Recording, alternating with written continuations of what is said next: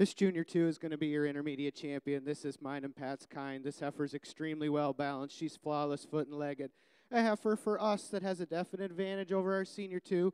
She's just a little more comfortable in her loin. Prefer that slope from her hips to her pin. She's stronger over loin today than this beautiful uttered senior two for reserve. Reserve over honorable mention, as we said in class, a heifer just longer of her fore udder. Heifer showing us a little more width all the way through her frame than another silky, silky dairy. So here are the results for the five-year-old cows for the Guernsey Show.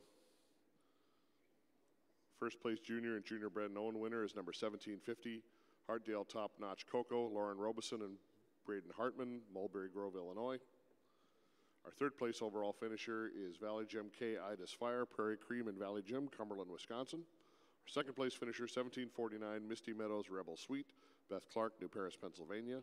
The winner of our first place award, Best Udder, Bred and Owned, and Production Award winner goes to Knapps Top Knapps Top Notch Harlow, Landon Knapp, Epworth, Iowa. Congratulations. Tell us about these five-year-olds, Judge.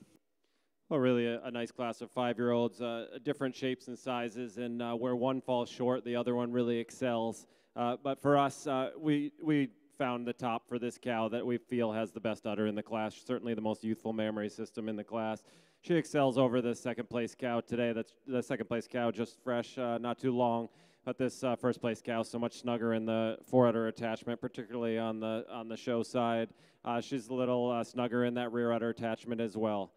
She also excels over the second place cow in overall strength and power. She's just wider through that chest floor. But take nothing away from this second place cow. She has the advantage over that first place cow and just being cleaner and flatter through that hock. And she's so stylish and flat boned. She's sharper over the withers than that winning cow.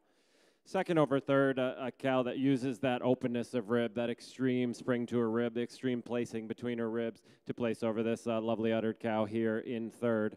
The third place cow over the fourth place cow, a cow that's just much more comfortable on those rear legs as she moves about the ring. She's stronger in that loin than the big cow that follows her out. You love that big open rib, and you love that milkiness of this fourth place the fourth place cow, and she does use that angularity, that flatness of bone, that condition for the show ring today to place over this powerful cow coming out here in fifth. Congratulations.